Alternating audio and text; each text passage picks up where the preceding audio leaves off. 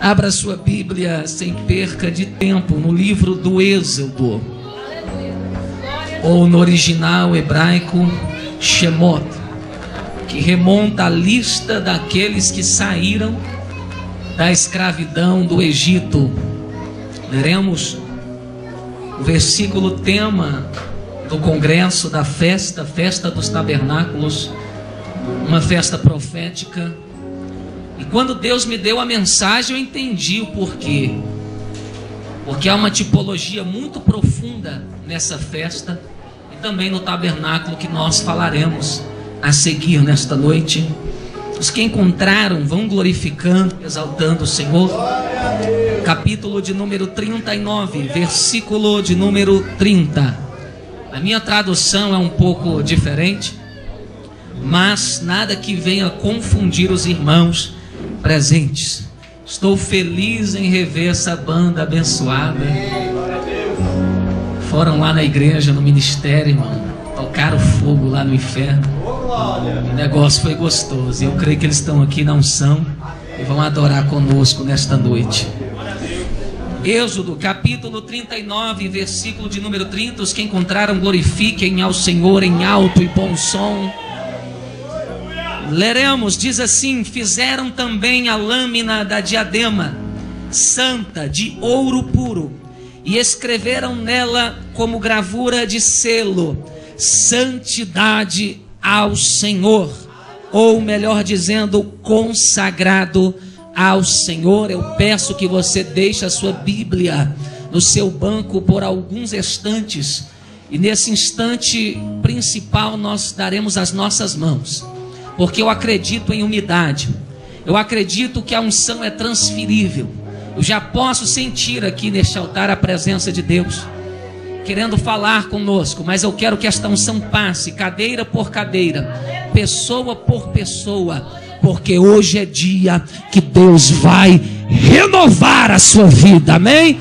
Aqueles que creem no mesmo Deus que eu sirvo de mãos dadas, vamos orar neste momento. Senhor Deus eterno e santo Pai, mas uma vez, meu Deus, eu me coloco, Senhor, não, meu Deus, debaixo da minha força humana, nem do meu intelecto, Senhor, nem das faculdades ou livros que eu tenho estudado. Eu me coloco agora, Senhor, unicamente na dependência do teu santo e glorioso Espírito, ó Deus.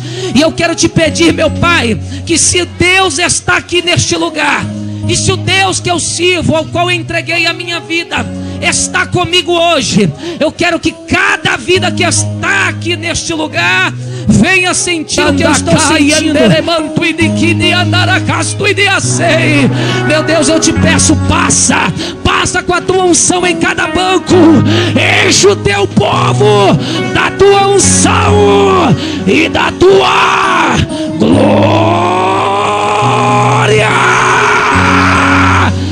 Aquele que está sentindo, aplauda o Senhor. Aplauda o Senhor.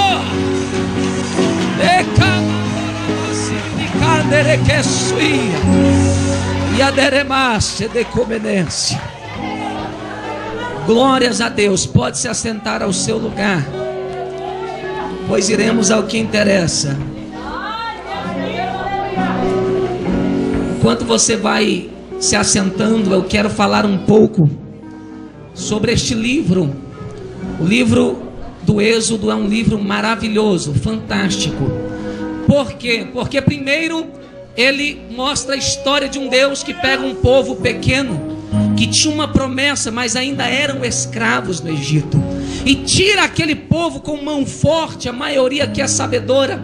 Dez grandes sinais e grandes pragas foram lançadas sobre a nação egípcia por oprimirem aquele povo que tinha uma promessa. E o que eu acho lindo é que Deus guia este povo pelo deserto, dizendo a eles que os levaria a uma terra que manaria leite e mel. Mas antes de chegarem na terra, eles teriam que ser aprovados no deserto. Deserto não é um lugar só de escassez, de solidão, de dificuldade. Deserto é lugar de se aprender a chegar na terra prometida. Ninguém chega na terra se não tiver experiências no deserto. E eu sei que eu estou pregando para pessoas aqui que um dia eram escravos do mundo. O faraó deste mundo em que vivemos te oprimiu. Você não valia nada, você tinha uma vida sem perspectiva, sem sonhos, sem acreditar que um dia Deus poderia olhar para você e fazer algo grande. E eu quero dizer para você: Deus te tirou do Egito. Você está no deserto. É difícil, mas dá glória, porque é no deserto que Deus manifesta as coisas mais maravilhosas em nossas vidas que aquele povo viu no deserto, eles não veriam de forma nenhuma na terra prometida. Eles viram a mão de Deus trazendo maná do céu, dando a eles roupas que não se envelheciam e não se rasgavam. E a história diz que até as sandálias das crianças cresciam de acordo com os pés delas, coisa que só Deus pode fazer. E se tem alguém aqui no deserto da vida, já vai uma profecia para alegrar o seu coração. Eu quero dizer que neste lugar Deus não te esquece. Você pode pode estar no deserto, mas você verá a provisão e os milagres que Deus vai fazer na sua vida. E você já pode glorificar a Deus por isso, irmão. Aleluia. Ele vai tirar água da rocha para você, da pederneira, porque esse Deus faz o impossível. E é neste livro do Êxodo que nós lemos um capítulo que muitos que já leram até mesmo acham que não tem importância de ler sobre as vestes sacerdotais. Quando eu leio o capítulo 39 do Êxodo, eu vejo uma série de indumentárias, de vestes sagradas ordenadas por Deus para que o sacerdote pudesse ministrar a ele. E quando eu vejo Deus falando sobre a veste de linho, o éfode, aquele cinturão, aquele peitoral do juízo, que era um dimensionador que tirava o sacerdote da terra e colocava ele no mundo espiritual para falar com Deus. Quando eu vejo um bracelete e uma mitra de ouro puro amarrado na testa do sacerdote com uma fita azul, dizendo: santidade ao Senhor. Eu entendo que esse Deus ele é zeloso. Eu entendo que esse Deus ele não quer qualquer adoração, ele não, não quer qualquer vida, ele quer pessoas que estejam, estejam vestidas e conforme a vontade que ele ordenou. Porque se Deus insiste com você, é porque ele quer fazer uma coisa muito grande, a qual você nunca viu e nem ouviu. E eu estou pregando para a gente assim: que Deus tem promessa de coisas que você nunca viu e jamais ouviu e nem imaginou. Por isso você está neste lugar. Agora eu te peço por gentileza, olha para o seu irmão aí do seu lado e diga para ele assim: você está num lugar precioso. Diga assim: é hora de reverência. Diga assim: você está. Você pode falar mais alto: você está num tabernáculo Fala de novo, você está num tabernáculo. Agora, olha para cá.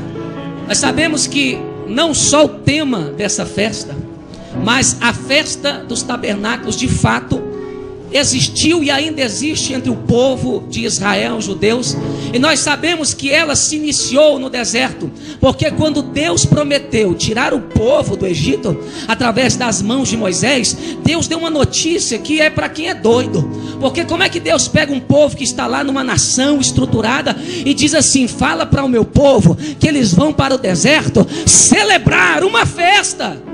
Quando Moisés dá essa notícia a Faraó, que creio eu ser Ramsés II, eu imagino o faraó olhando assim, esse homem é doido. Eu acho que ele matou um homem, ficou fugitivo, perturbado. O sol do deserto queimou a cabeça dele. E ele está vindo com essa história de liberar um povo que precisa trabalhar para o meu reino, para fazer festa no deserto. Como se faz festa no lugar onde não tem nada?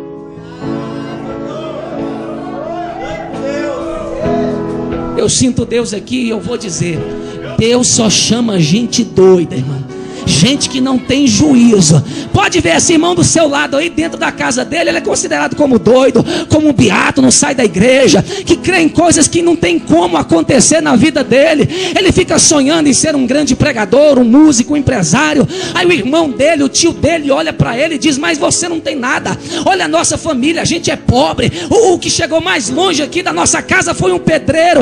Ele não conhece o Deus que pega você, te leva para o deserto e faz você ser príncipe. Só os que acreditam.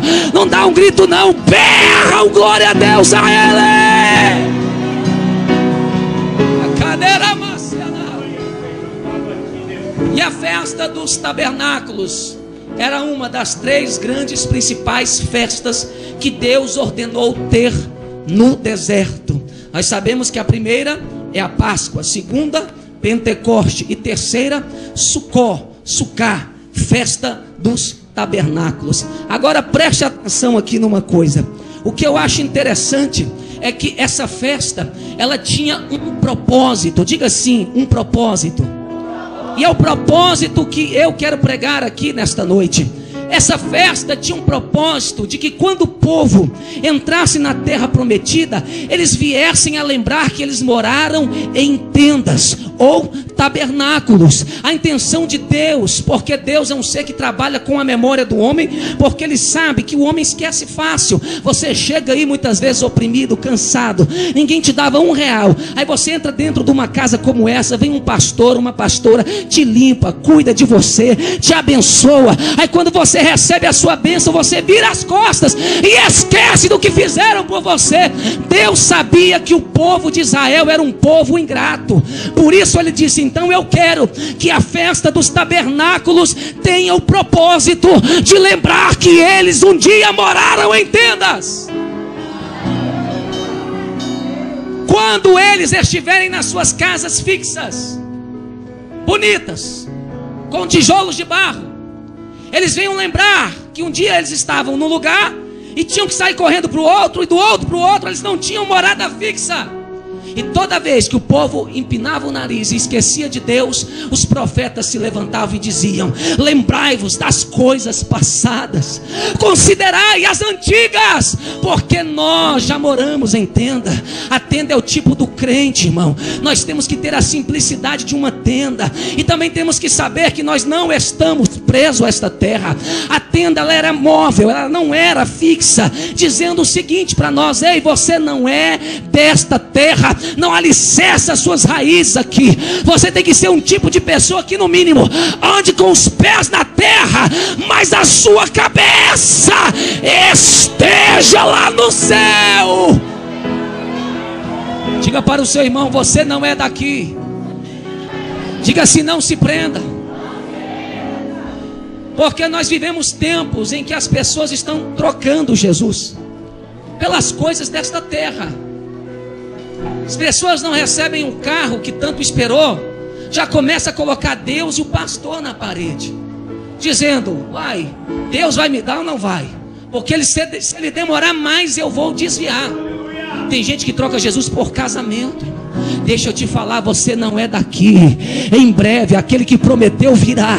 Maranata ao Senhor Deus, porque ele disse: Eis que cedo venho, guarda o que tens, para que ninguém tome a sua coroa.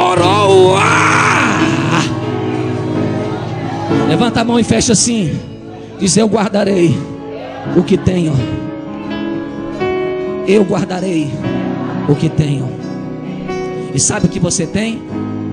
A santidade de Deus. Santificar significa separar-se. Você é separado. Você não é igual ao mundo. Ei, o seu referencial não é artista de televisão, não é ator de novela. O seu referencial é o Cristo do Calvário.